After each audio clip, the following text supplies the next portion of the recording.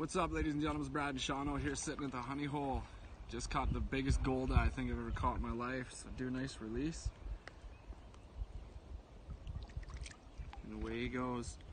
Using the Berkley Frenzy. Trusty red. Make it look like crawdad red. Alright boys.